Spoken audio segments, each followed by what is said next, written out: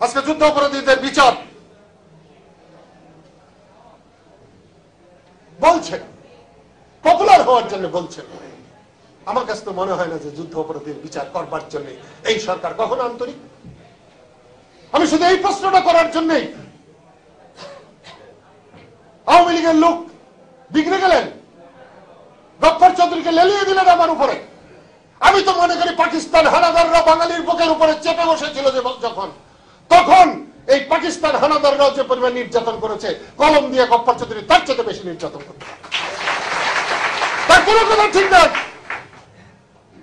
উনিশশো পঁচাত্তর সালে বঙ্গবন্ধুর এত বিরোধিতা করেছিলেন, এত সমালোচনা করেছিলেন। বঙ্গবন্ধুর কাছ থেকে টাকা নিয়ে, টিকিট নিয়ে ক্রান্তি আমায় ক্ষমা করো প্রভু বলে উনি ইংল্যান্ডে চলে গেলেন। আজকে সবক দিচ্ছেন বাঙালিকে। সাঁত্রিশ বছরে যে বাঙালির কোন কষ্ট, দুঃখ দেখেন নাই। তিনি আমাকে সবক দেন।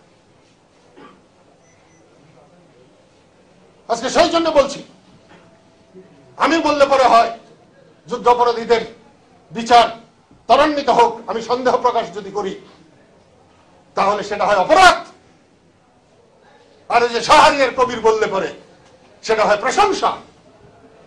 রাজাকারে বললে প্রশংসা হয়, আর আমি বললে অপরাধ হয়। আপনারা যুদ্ধ অপরাধীদের বিচার করবার জন্য এই ট্রায়াল করেন নাই, এই কমিশন করেন নাই। আপনারা এখান থেকে ফয়দা লুটবার জন্য, আগামী নির্বাচনী বৈতরণী পার হবার জন্য আপনারা এরকম করেছেন। আরেকজন হাত মন্ত্রী বানিয়েছেন। আইনের অজানে কিনা জানি না। এত কথা বলে, কাজের চাইতে এত বেশি কথা বলে।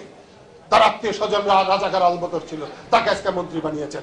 আপনাদের দলে থাকলেই সব মুক্তিযোদ্ধা, আর আপনাদের সঙ্গে না থাকলেই রাজাকার।